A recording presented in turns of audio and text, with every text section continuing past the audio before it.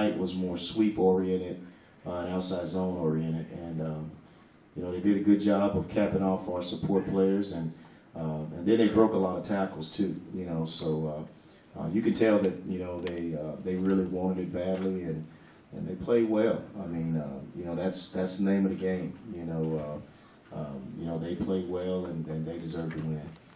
Front to your left here. Hey Coach, uh, Matt Samuels with the Veterans Advocate. Hi, man. Um, just, did you guys know going in which quarterback that you'd be facing?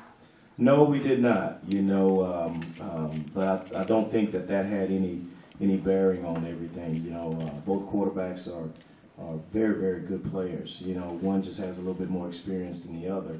Uh, both of them can throw the ball effectively and run the football effectively. So uh, it didn't really affect our game planning. You know, I just thought that they did a tremendous job of, of winning the battle up front. They they really got after us on both sides of the ball. And, you know, they uh, they made Jonathan uncomfortable in the pocket. You know, from time to time. Um, you know, with the with their D linemen, and, uh, and then offensively, you know, they were able to run the ball effectively. So, um, you know, they they won the battle up front as well. Coach to the back to your right. Coach uh, Daniel Brown, KGS. How you doing? Um, There in the uh, second quarter, a little over two minutes left, you guys stopped them on third down, but then they had the penalty, you decided to take it.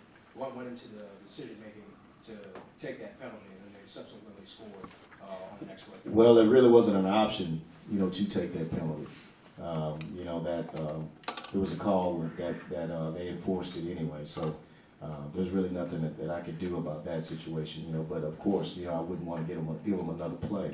You know, but uh, you know, it worked out in their favor, and uh, you know, we just didn't get off the field.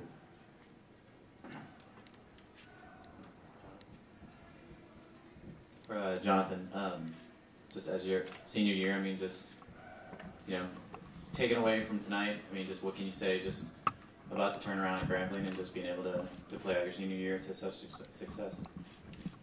Well, uh, it was a great senior year. Uh, it would have been better with a win, of course, but I'm just happy to be a part of the team and such a great program.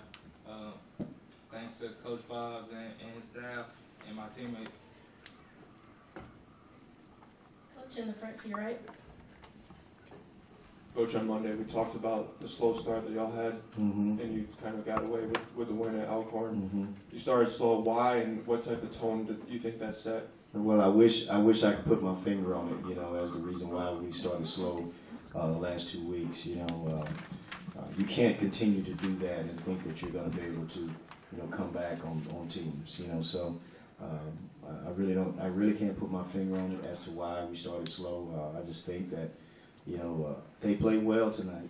You know, and you, you know they're they're definitely the champions of this this this conference. They've been number one for most of the part for the most part all year long, and um, they had a couple of you know slip ups here there, but that's the nature of this conference. You know, when you play week in week out in this conference, you know this conference has a lot of parity, and um, and at some point, you know, you're going to run into a brick wall. And, uh, and I thought they did a good job of responding and and dealing with the adversity and, and coming back from it, and now they're the champions.